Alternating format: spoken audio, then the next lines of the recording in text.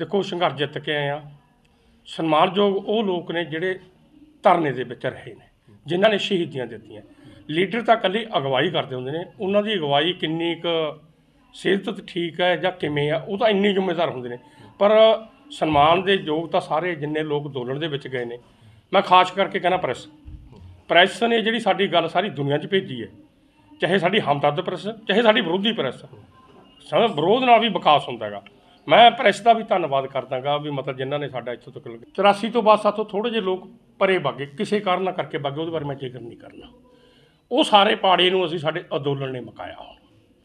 ਤੇ ਜਿਹੜਾ ਦੁਨੀਆ ਦੇ ਵਿੱਚ ਸਿੱਖਾਂ ਦਾ, ਪੰਜਾਬੀ ਕਿਸਾਨਾਂ ਦਾ, ਪੰਜਾਬੀ ਲੋਕਾਂ ਦਾ, ਚਾਹੇ ਉਹ ਹਿੰਦੂ ਹੈ, ਚਾਹੇ ਮੁਸਲਮਾਨ ਹੈ, ਚਾਹੇ ਉੱਚਾ ਹੋਇਆ, ਉਸ ਨੂੰ ਗਰਾਫਟ ਵੱਲ ਲਿਜਾਣ ਦਾ ਸਾਰਾ ਜ਼ੋਰ ਮੋਦੀ ਸਰਕਾਰ ਨੇ ਫੇਰ ਲਾਤਾ। ਤਿੰਨ ਚਾਰ ਐਂ ਘਟਨਾਵਾਂ ਕਰਾਈਆਂ ਧਰਮ ਦੇ ਨਾਲ ਜੋੜ ਕੇ ਆਪਦੀਆਂ ਏਜੰਸੀਆਂ ਤੋਂ। ਕਿ ਹੁਣ ਜਿਹਦੇ ਧਰਮ ਦਾ ਕੋਈ ਨੁਕਸਾਨ ਹੋ ਗੁੱਸਾ ਤਾਂ ਲੋਕਾਂ ਨੂੰ ਆਊਗਾ ਆਊਗਾ। ਉਹਨਾਂ ਨੇ ਗੁੱਸੇ ਚ ਗਿਆ ਸਾਡਾ ਉਹ ਦੌਰਾਰੀ ਜਿਹੜਾ ਸਨਮਾਨ ਤੇ ਉਹ ਸਾਨੂੰ ਇਹ ਮੋਦੀ ਨੇ ਧੱਕਾ ਲਗਾਇਆ ਲਵਾਇਆ ਇਸ ਗੱਲ ਦਾ। ਮੈਂ ਹੁਣ ਵੀ ਬੇਨਤੀ ਕਰਦਾ ਕਿਸੇ ਧਰਮ ਦੀ ਬੇਅਬਦੀ ਨਹੀਂ ਹੋਣੀ ਚਾਹੀਦੀ। ਪਰ ਜੇ ਹੁਣ ਕ- ਕਰਦਾ ਹੈ ਕੋਈ ਫਿਰ ਉਹਦਾ ਲੋਕ ਸਜ਼ਾ ਉਹਨੂੰ ਦੇ ਦਿੰਦੇ ਨੇਗੇ।